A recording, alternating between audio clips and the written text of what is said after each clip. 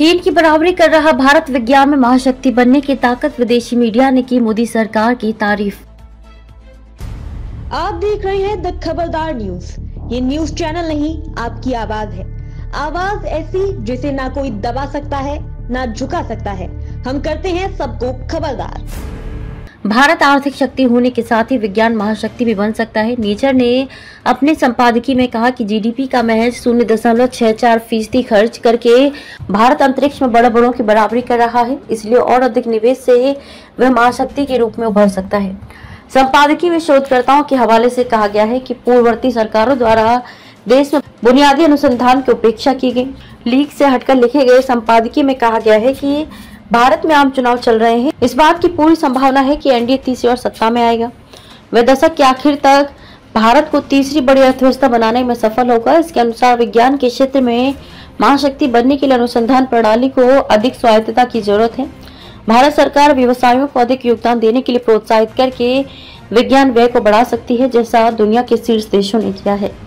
सरकारी आंकड़ों के अनुसार वर्ष 2021 और 22 में भारत मात्रा के हिसाब से दुनिया का तीसरा सबसे बड़ा दवा उद्योग था और सस्ती दवाओं और जेनरिक दवाओं का अग्रणी आपूर्ति करता था।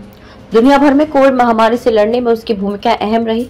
पिछले साल भारत चंद्रमा पर सॉफ्ट लैंडिंग करने वाला चौथा देश बना और दक्षिणी ध्रुव पर उतरने वाला पहला देश। उसके पास दुनिया का सबसे बड़ा रिमोट सेंसिंग उपग्रह भी है।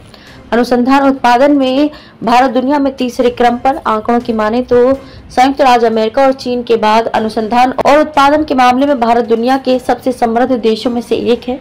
वर्ष 2014 से 2021 तक विश्वविद्यालयों की संख्या 760 से बढ़कर 1113 हो गई। पिछले दशक में सात और आईआईटी स्थापित किए गए, जिससे इनकी कुल संख्या तेईस हो गई है।